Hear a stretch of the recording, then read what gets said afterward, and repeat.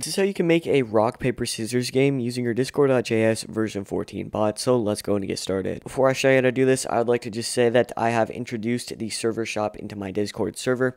Using this, you can purchase bot packages that I have created for you. So as of right now, we have the ModMail bot package and the AI bot package.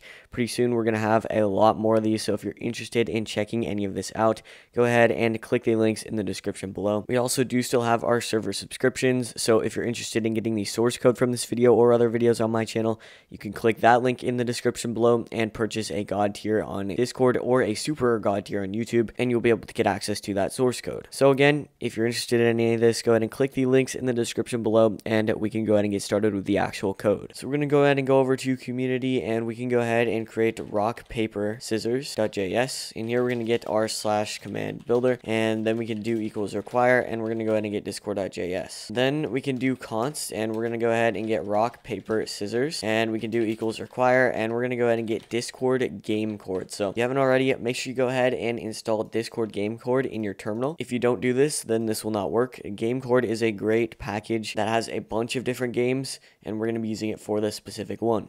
So now we can do module.exports, and we can open this up. We're going to get our data, which is going to be our new slash command builder.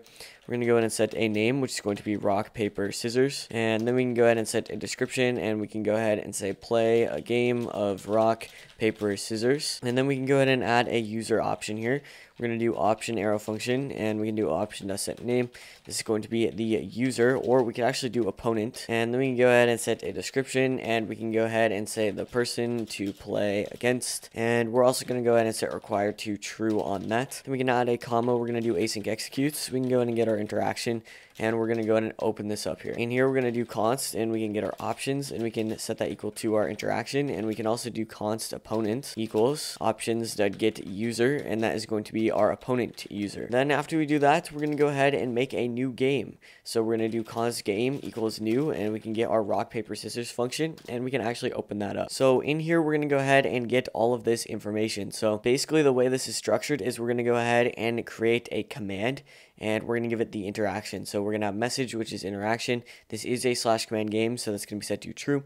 Our opponent is going to be our opponent variable, which we have got from our user option here. This is our embed, so you can go ahead and customize the title, color, and description. Uh, the color is default set to blurple using the gamecord package, um, but you can go ahead and get a hex code for that. Then we have our buttons, so that's going to be rock, paper, scissors. That's the name of the buttons, and the emojis correspond with the buttons. So like the button rock is going to have the rock emoji next to it, and the same thing will apply for paper and scissors. So the emoji and buttons go together. Then we can go ahead and get our mention user, which is going to be true. So that's going to ping the opponent in the message. And then this is going to be our timeout time. So this is going to be how long the game lasts.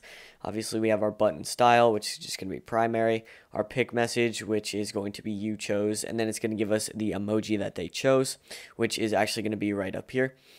Then it's going to give us the win message. This is once you've won the game, you'll see this. The tie message, again, if you tie the game, both opponents will see this.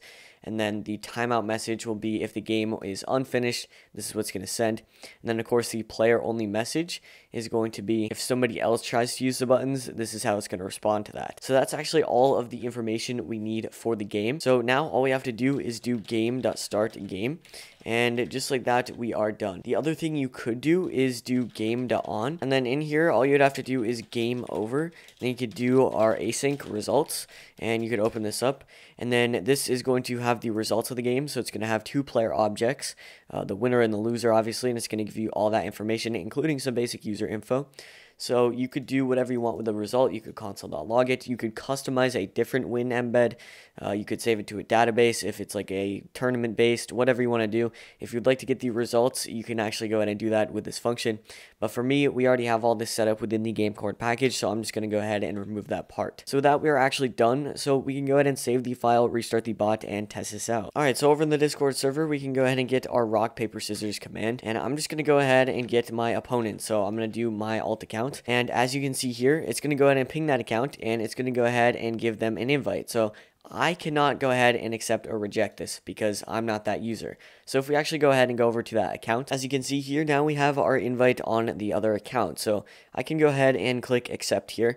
And now that it's accepted into the game, I can go on both of these accounts. And as you can see, I can now play on both. So on this account, which is the Mr. Awesome account, if I go ahead and use one of these, let's just do rock, and then obviously we now know who's going to win, but if we were to do scissors on this account, as you can see, it's going to say you chose rock and I chose scissors. And then it's also going to go ahead and give me my final embed, as you can see it edited in the embed. So we can look at it over here. It's going to say that my main account picked scissors, and then it's going to say versus my alt account, which picked rock. And that means because obviously rock is greater than scissors, that my alt account won the match. You could continue doing this as many times as you wanted. This is all done through the gamecord package. The other thing is if you let the game go for too long, it will time out, so just keep that in mind. But yeah, that is how you can make an advanced rock, paper, scissors command using your discord.js version 14 bot. If you do need any help with this, go ahead and join the server in the description below and use our help channels here and we'll be happy to help you out. And you might as well just join anyways because this is a pretty good coding community. And with that, I'll see you guys in the next video.